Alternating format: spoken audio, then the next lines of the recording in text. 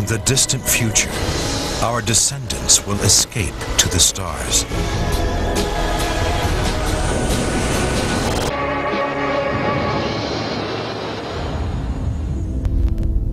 Humans have lived on the Earth for 200,000 years, but one day we will have to leave. We will have to go because the Earth is in peril.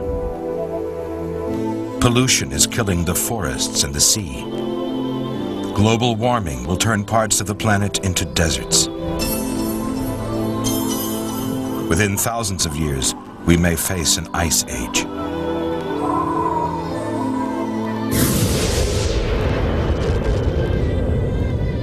We may even be annihilated by asteroids. And in five billion years, the Earth will be consumed by the Sun when it expands and dies. The Earth will be scorched, the mountains will melt, and the oceans boil. It's an enormous challenge. We have already taken our first tentative steps into space. But these are tiny compared to the giant leap we will need to take if we are to escape and save ourselves. We will need to develop new ways of crossing the void of space to reach the stars. We will have to reinvent space travel. We will have to reinvent ourselves.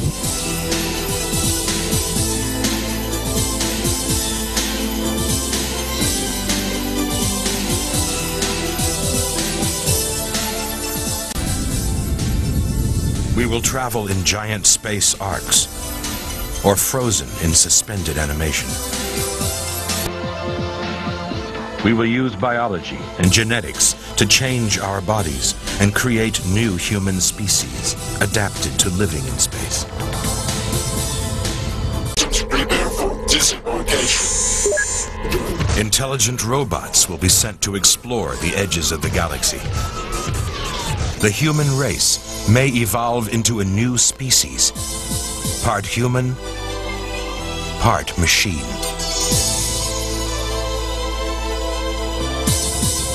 This is not science fiction. It is science fact. We are already taking the first steps. Our destiny is to leave the planet Earth because we have no other choice. We are about to embark on the greatest adventure the human race will ever experience.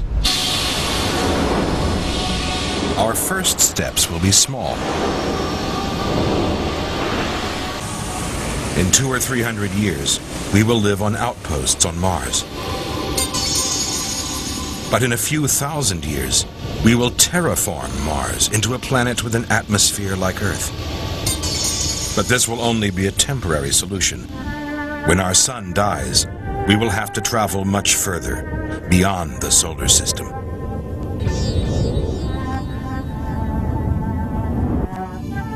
Each year, astronomers discover more and more new planets orbiting around distant stars. Quite literally, the, there are more stars in the visible universe than there are grains of sand on every beach on Earth. And we believe that probably there are a majority of those stars have planets. So therefore, there are more, potentially more planets in the universe than there are even stars. So the, the numbers of potential sites like that are just overwhelmingly large.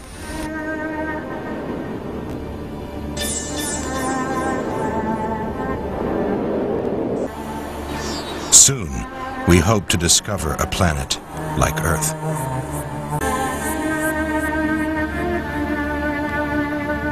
Even if we find a planet just like Earth, we will have to travel an enormous distance to reach it. Even the distance to our nearest star is difficult to imagine. If the distance between the Earth and the Sun is about four feet, which in this case the Sun is only the size of a half inch marble and the Earth is barely bigger than the thickness of a sheet of paper, our nearest star is over 270 miles away. If you were driving a car at highway speed trying to get to a near star, it would take over 50 million years to get there. Even our largest rockets would take almost 100,000 years. Compared to the Voyager spacecraft, which was going 37,000 uh, miles per hour as it left our solar system, it would still take 80,000 years to get there. And the fastest thing we know of is light, and that takes over four years to get there.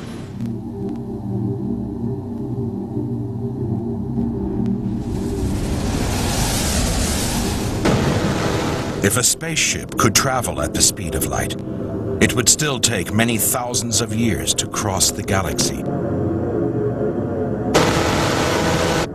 Generating enough power to travel these enormous distances is a huge problem. Just to give you an example, if you wanted to send something the size of the shuttle orbiter to our nearest star, and you were going to take a leisurely pace of nine centuries to get there, and use the type of rockets that are on the shuttle, there's not enough mass in the universe to act as your propellant in those cases. The other problem is speed. Only by traveling incredibly fast will we be able to reach a new home in a reasonable amount of time. But there's a problem. There appears to be a cosmic speed limit 186,000 miles per second, the speed of light. Albert Einstein believed nothing could go faster than light. If Einstein is right, traveling across the galaxy will be almost impossible. But was he right?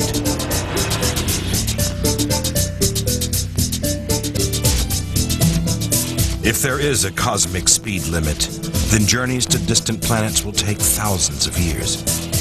The only way to transport the human race will be to build space arks, giant ships that will carry generations of humans.